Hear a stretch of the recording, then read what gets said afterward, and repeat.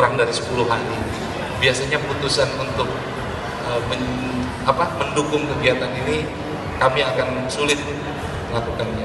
Alhamdulillah momen of truth paling baik di tahun 2019 bulan ini pun adalah bulan ulang tahun kami yang ke-69 ya jadi semua kegiatan ini tersupport oleh dua unit bisnis kami jadi Bapak mau pilih skim konven atau skim syariah bisa? Dan pada hari ini pun kami punya cimik-cimik khusus untuk pembiayaan dan juga penyimpanan dana di BPN. Jadi Alhamdulillah saya lihat ini kegiatan yang paling lengkap.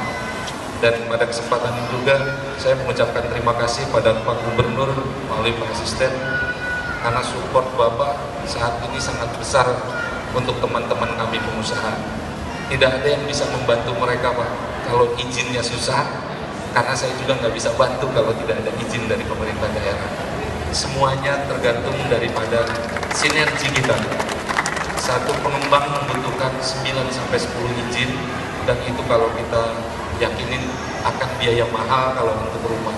Tapi kalau bisa mendapatkan tanah dan izin yang murah, kita bisa lebih bisa menekan biaya. Saya yakin di sini ada Pak Hustam juga dari notaris.